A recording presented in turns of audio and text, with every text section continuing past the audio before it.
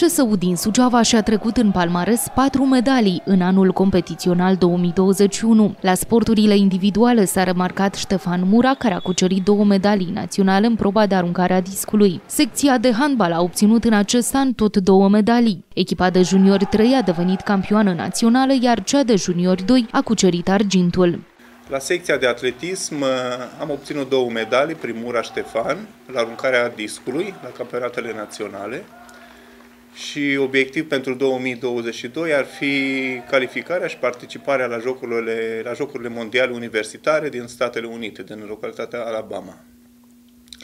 La secția de handbal avem la fel două medalii obținute din uh, juniorii 3, medalii de argint, iar juniorii 2 au obținut medalia de aur, după cum uh, foarte bine știți. Echipa de seniori a clubului în anul 2021 a reușit să se mențină în Liga Națională, ce, după părerea mea, e o performanță remarcabilă pentru orașul Suceava, pentru Clubul Sportiv Universitar din Suceava.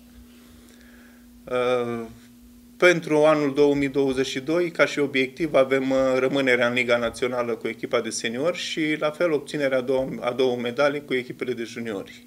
Directorul Clubului Sportiv Universitar din Suceava speră ca pe parcursul anului viitor să continue colaborarea cu Federația Română de Handbal pentru funcționarea Centrului de Excelență la Suceava și chiar să reușească înființarea încă unei grupe de vârstă. Vom uh, încerca să colaborăm uh, și mai departe cu Federația Română de Handbal, cu toți cei care ne ajută să putem menține Centrul de Excelență la Suceava.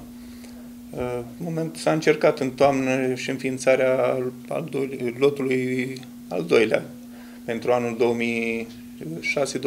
2006-2007. Din păcate, anul ăsta nu s-a putut. Poate nu, vom încerca și la anul, vă dați seama, să, să înființăm uh, Centrul de Excelență pentru 2006-2007. De la Centrul de Excelență, după cum bine știți, s-a promovat la Liga Națională Stanciuc și mai sunt încă 2-3 jucători în atenția domnului profesor să fie promovați la echipa mare.